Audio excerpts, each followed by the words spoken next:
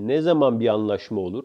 Ee, en son başkan, Sayın Başkan yurt dışındaydı. Onun e, dönmesi süreci hızlandıracaktır. Ama ben aldığım bilgiler çerçevesinde bunu söylüyorum. Akisar maçından sonra en geç Ersun Yanal'la e, resmi olarak anlaşmanın sağlanmasını bekliyorum. Eğer son anda e, bir sürpriz e, olmaz.